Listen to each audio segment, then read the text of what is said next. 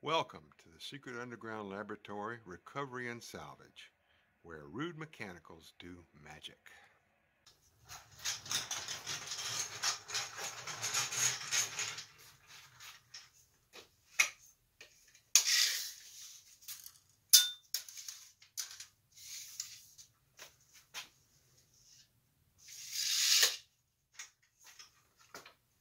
This is a lot of glass. Chandelier has a 37 inch drop, has a full spread of 32 inches. Each of these arms is right at 12 inches center to center with a 7 inch rise. That basically makes it about twice the size of any similar chandelier I've ever had here in the lab. And uh, Similar to other chandeliers I've had in the lab, there's always one broken arm, which is not too surprising because this is pretty heavy right here. And the first thing we've got to do is take it apart, clean everything, because it's been hanging from the same spot in the ceiling in the house where it came out of roughly 80, maybe 90 years. And uh, first thing we've got to do is clean it up.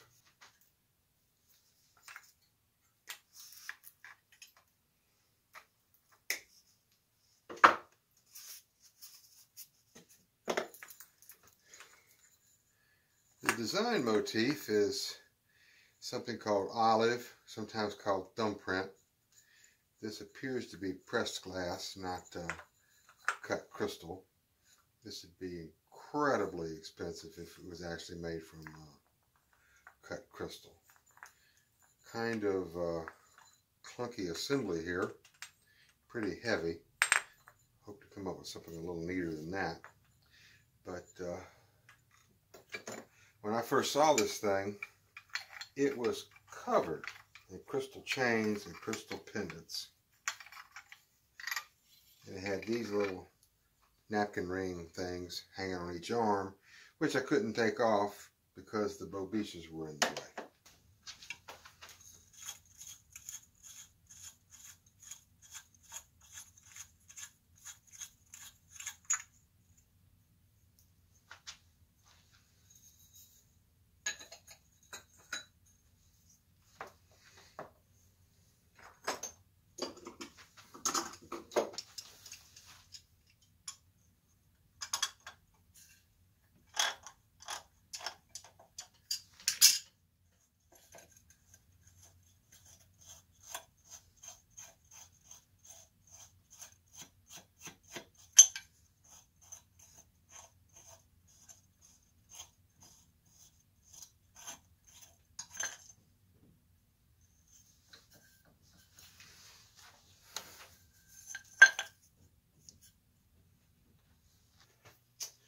Right now, I don't have any idea how this body comes apart. Which has got to separate in the middle, but uh, I don't know if the bottom comes off or if the top comes off or how it's fastened together. And I'm kind of at a disadvantage because I can't grab a hold of these arms to get any leverage. In any case, all this glass on the trunk has to come off. So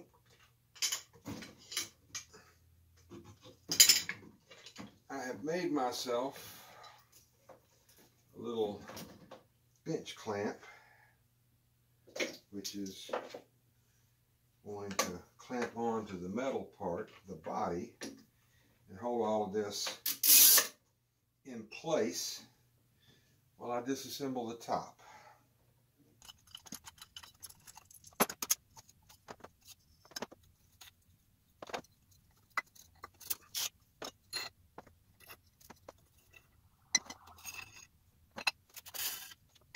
I'm not sure if that gets me any closer to taking it apart.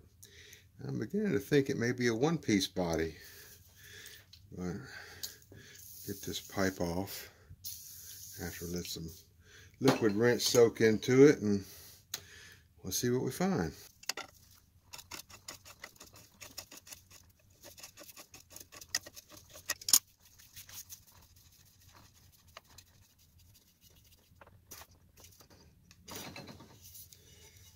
Oh yes.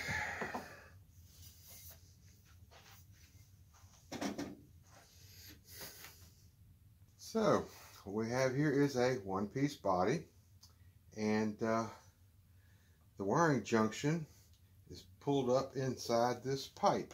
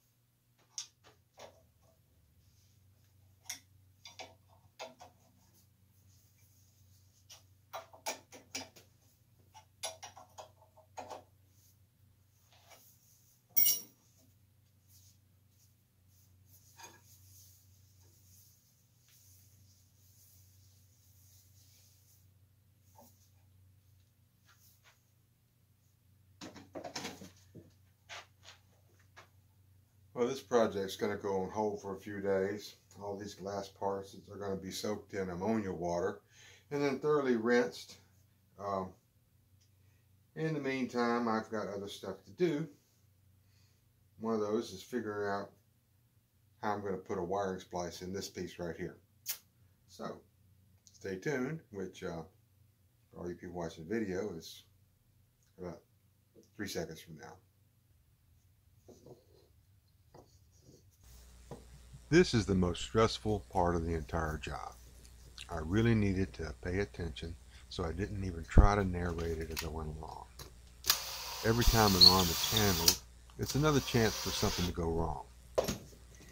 The arms are set in the end caps with plaster. That's where they seem to always break. Some people dig out the broken piece and reset the arm, but it's obvious that one light is lower than all the others. My solution is to drill out both pieces with a diamond core bit and splice the pieces together with a piece of polished steel tubing. The arm has to be held absolutely rigid. Any shift or flexing could put the bit in a bind and shatter the arm. This calls for a creative clamping on the drill press. The diamond core bit is a piece of steel pipe with diamond dust embedded in it. It cuts quickly and cleanly it has to be kept cool with a constant spray of water. The slightest amount of heat will burn the adhesive that holds the diamond dust and the bit is worthless.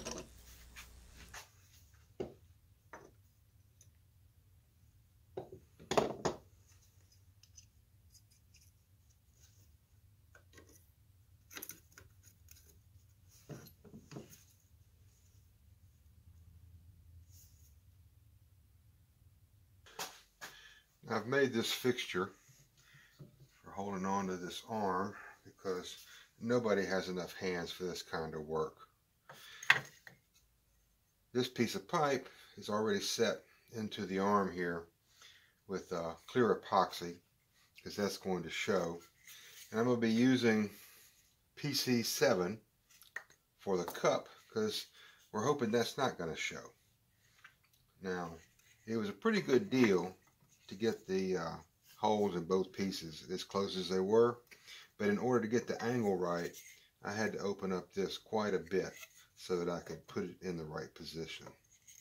So now, mix up some epoxy, set it in this uh, cup here. Do everything possible not to get it inside the pipe. That would not be good. And uh, then we clamp it in position and let it sit overnight.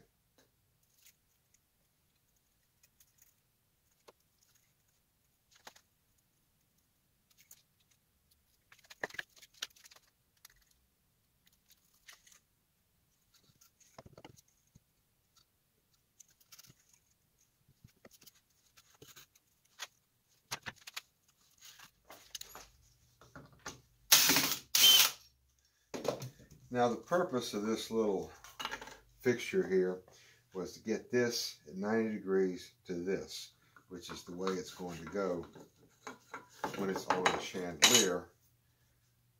Because there's no bending this, for sure. Now, the PC7 works pretty good, but it does take a full 24 hours for it to set up. And in the meantime, while it's soft, if you've got any kind of weight or something on the uh, part, it can sag, it can bend, and that is why I have it set up like this so that uh, that's not going to happen.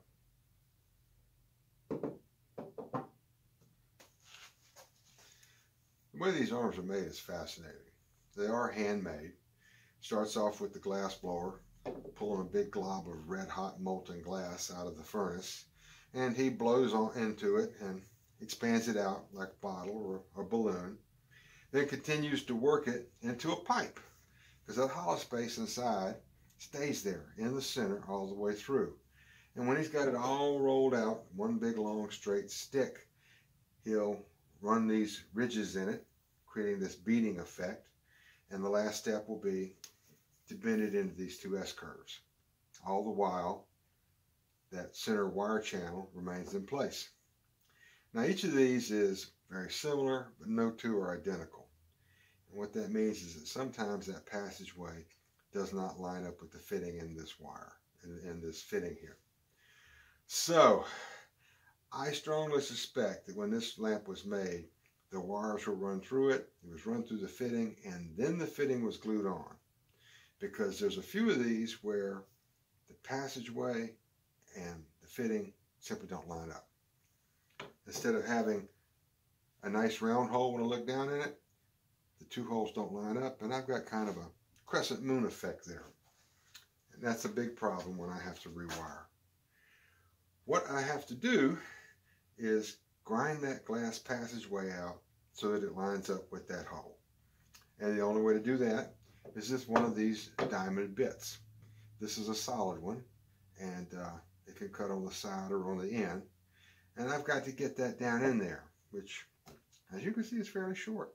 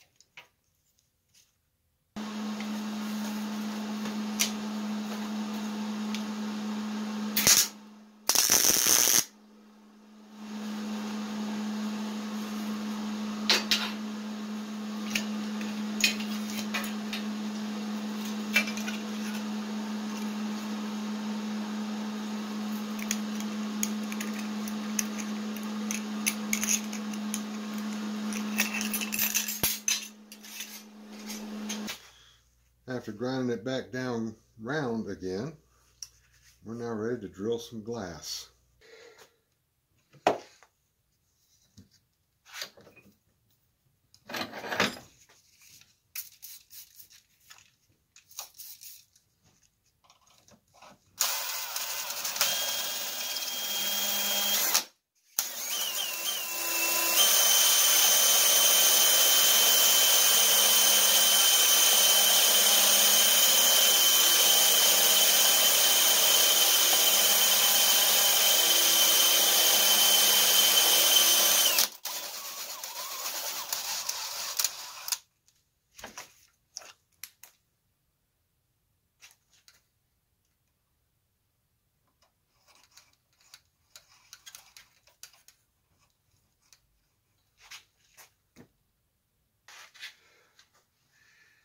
Now I think I have all the arms prepared where I can get them rewired with uh, the least amount of trouble. And uh, these things usually go one of two ways. One, no trouble at all. One, a lot of trouble. And it always comes down to if you have seven arms, seven will go well, and the eighth one will take as much time as the other seven did. So, The spread from here to here is basically 12 inches. But the wire that I'm going to use to wire each arm is this long, which is about 45 inches. Reason being, the socket is going to stick up probably about that far. Then at the other end, I'm going to have to pull these wires around this corner, up into the body, and up into the pipe where I'll have to make the splice. So there'll be a considerable amount of extra wire. Plus, I have to trim all the insulation off this end because of the way I'm going to have to rewire this thing to get it around this corner.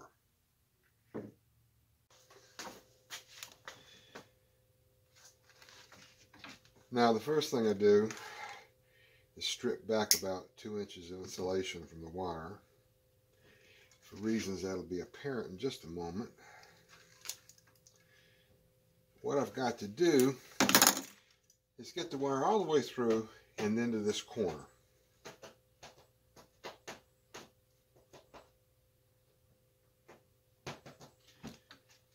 Now I feed it in through this end. And once I get it in the arm, it's easy to push because the insides of a crystal arm always smooth. If this were cast brass, it's possible for it to have a texture like a coral reef. Got it all the way around. Now I have this special tool I've made.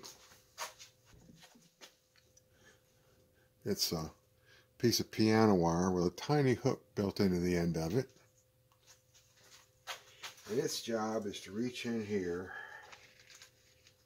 and snag that wire and start pulling it out.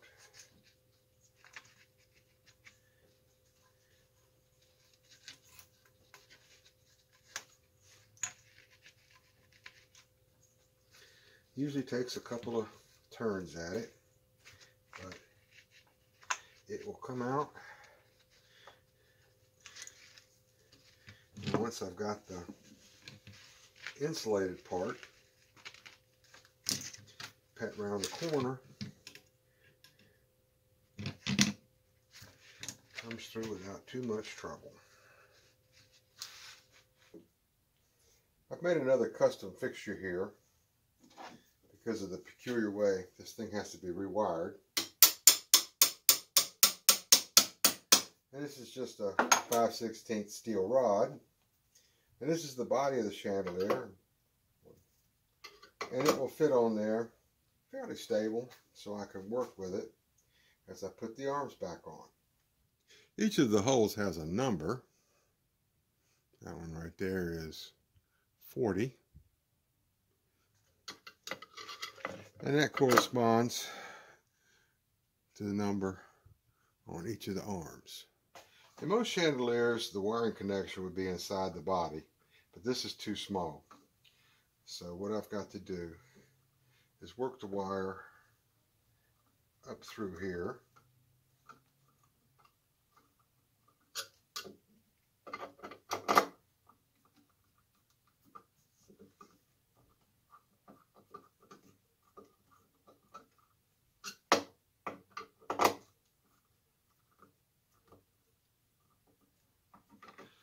Until I can screw this in. Being very careful.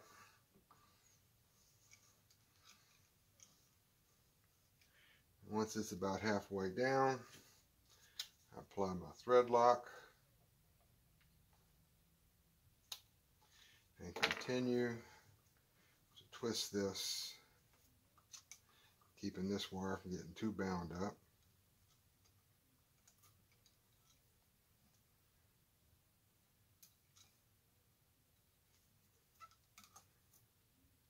and right there. Now that is why they have the numbers on here, is because they actually took the time to make sure that the threads on this piece match the threads on this piece, and they tighten up pretty much at the 12 o'clock position.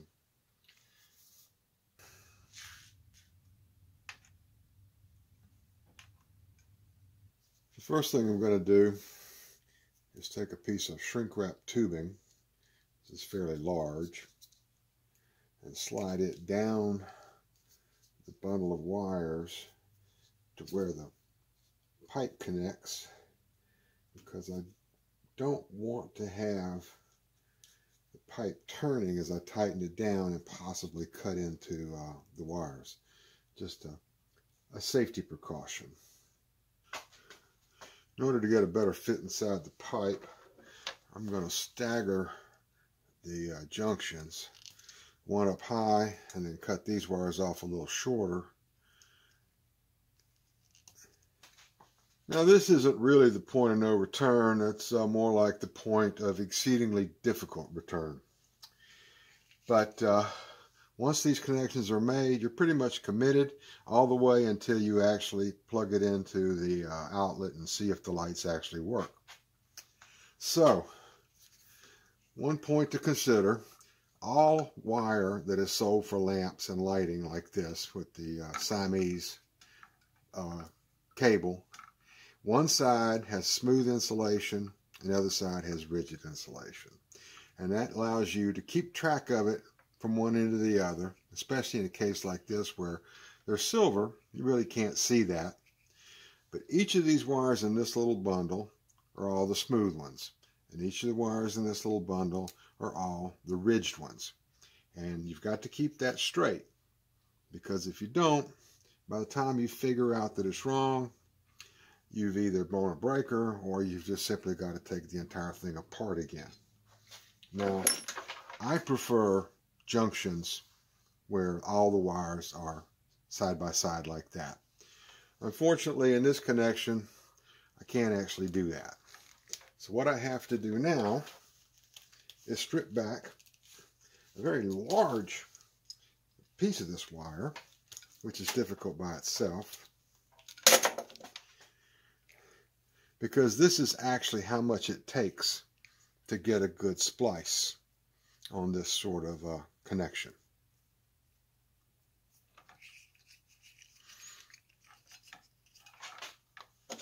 Do the same thing on the other side.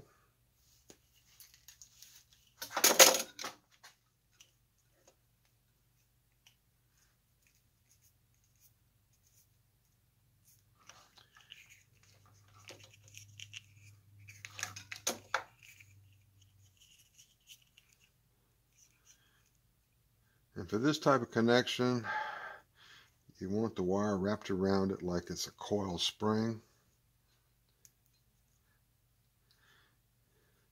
As tightly as possible. Well, it would help to put the right one where it belongs.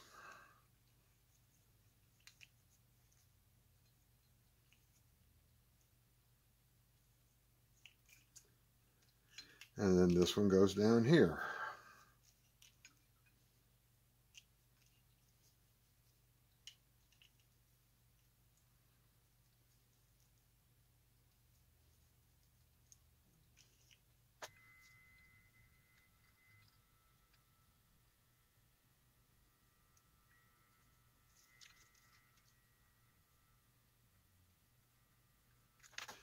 In the Secret Underground Laboratory, all connections are soldered and then they're covered with shrink wrap tubing, which is this miraculous material that uh, when you heat it up, it shrinks.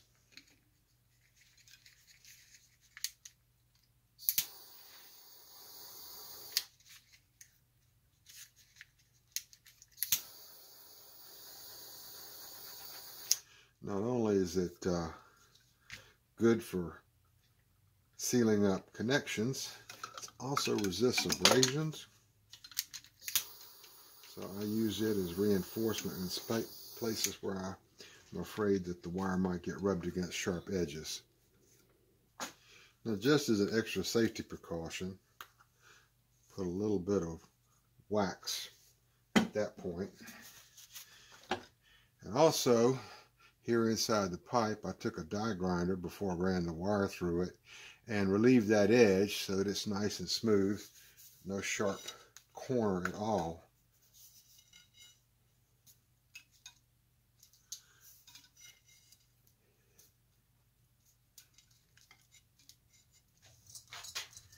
we're over at the BF bench because I need more room to lay all this stuff out. And I just did a test fit of all these pieces to see how they go on and get them in the right order.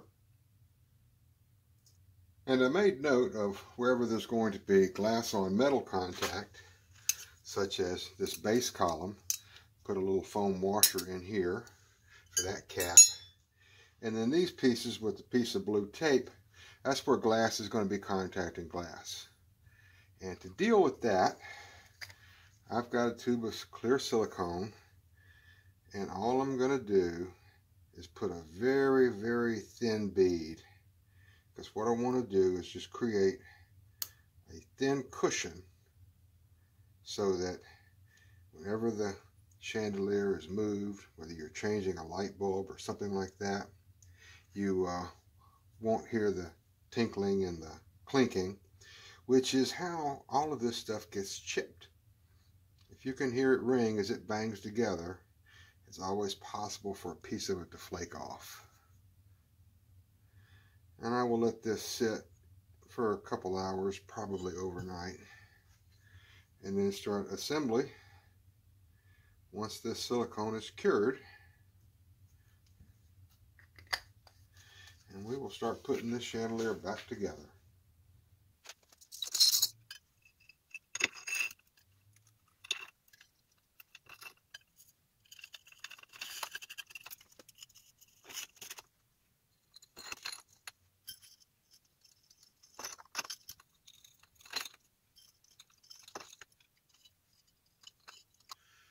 Now I've got the loop on it. Everything is snug, is tight. And you'll notice there's no clinking or ringing because I don't have any glass on glass or glass on metal connections. And that was exactly what I wanted. Now I'm ready to start assembling the light sockets. And I have to be careful because there's an order to which things go. The first thing is these uh, crystal napkin rings that are supposed to hang like this when the chandelier is uh, in place. I'm going to put them up here with this piece of foam to keep it out of the way so I won't be banging into it. Next goes the bobiche, which uh, just goes on there like that. I thought about maybe making some kind of washer or foam pad or something to keep it from uh, rattling around like that. But this is the most visible part of the chandelier. And it's got this neck here, which originally was nickel plated. Most of that's tarnished and gone away. But I'm going to leave it like that. Then a little bit of blue thread lock. Always use thread lock on all our threaded connections.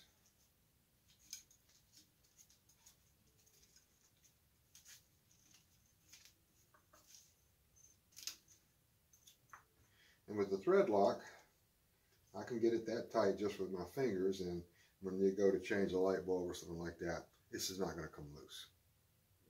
Now the next step is very important in any kind of electrical work involving lighting.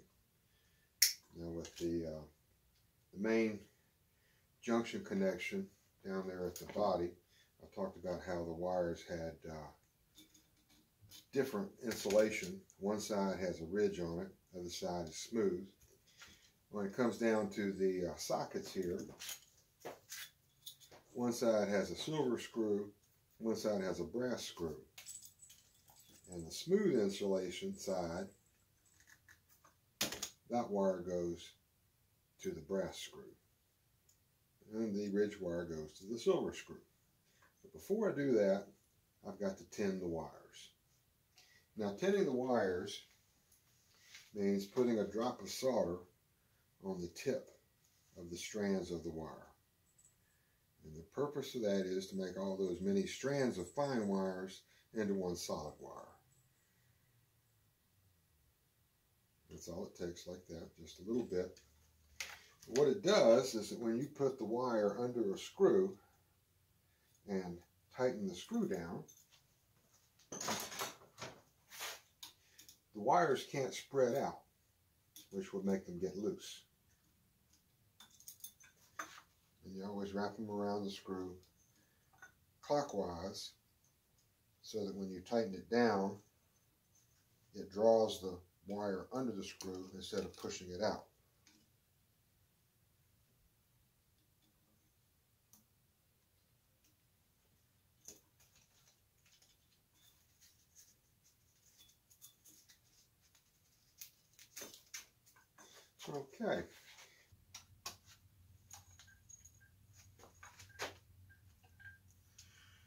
This is Bron Zeage for the Secret Underground Laboratory. I thank you for sticking this way through a, a rather stressful project.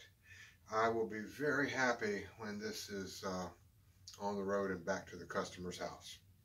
So again, thank you for watching. I would really appreciate it if you would like and subscribe. And uh, hope to see you again in the next video. Again, thank you.